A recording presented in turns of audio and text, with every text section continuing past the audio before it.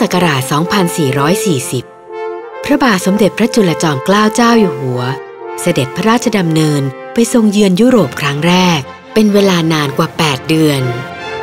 ในระหว่างที่ไม่ได้ประทับอยู่ในพระราชอาณาจักร ได้โปรดเกล้าโปรดกระหม่อม แต่งตั้งสมเด็จพระนางเจ้าสาวภาผ่องศรีพระอัครราชเทวี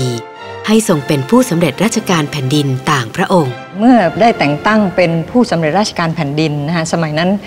ถ้าใช้คำในประวัติศาสตร์เลยเนี่ยคนในวังเนี่ยก็จะเรียกกันว่าสมเด็จรีเยน สมเด็จรีเยนนั่นก็ปฏิบัติหน้าที่เป็นที่พอพระราชไทยมาก ประการแรกเลยท่านจะทำหน้าที่ตามที่กฎหมายกำหนด ขอบเขตพระราชอำนาจมีแค่ไหน ระเบียบวิธีการที่จะต้องปฏิบัติท่านก็ทำตามนั้น แล้วก็มีการปรึกษากับคณะที่ปรึกษา ก็เป็นที่พอใจของพวกขุนน้ำขุนนาง ประการที่สองก็คือทรงทำหน้าที่ที่สืบต่อจากพระเจ้าอยู่หัว คือเหมือนต่างพระเนตรพระกันนะคะ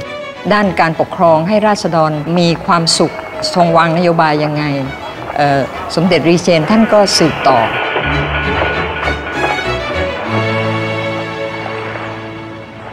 ที่สำคัญที่สุดคือเรื่องด้านการต่างประเทศ คือระหว่างที่รัชกาลที่ 5 อยู่ที่ยุโรป สมเด็จรีเจนท่านก็อ่านหนังสือพิมพ์ ชื่อว่า Free Press เป็นหนังสือพิมพ์ของสิงคโปร์ท่านก็เห็นท่าทีของฝรั่งเศสที่ยังดูกระด้างแข็งกร้าวกับสยามอะไรทำนองนี้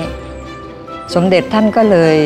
มีพระราชโทรเลขไปนะฮะเล่าเรื่องนี้ให้ฟัง ในที่สุดรัชกาลที่ 5 ก็เปลี่ยนเส้นทางเสด็จพระราชดำเนิน ไปรัสเซียก่อนที่จะไปฝรั่งเศส ไปสร้างสถานการณ์ให้เป็นต่อทางการเมือง ในที่สุดเมื่อไปฝรั่งเศสก็ได้รับการต้อนรับที่ดี เห็นได้เลยค่ะถึงพระปีชาสามารถของท่านคือทันต่อเหตุการณ์ การที่สถาปนาท่านขึ้นเป็นผู้สำเร็จราชการต่างพระองค์นั้นเนี่ยเปรียบเสมือนให้ฝ่ายในได้ก้าวออกมาในพื้นที่ของผู้ชาย ผู้หญิงเข้ามารับหน้าที่ใน ในหน้าที่ของผู้ชาย ซึ่งตรงนี้สำคัญมากนะฮะเป็นการเปิดโลกเลยล่ะฮะ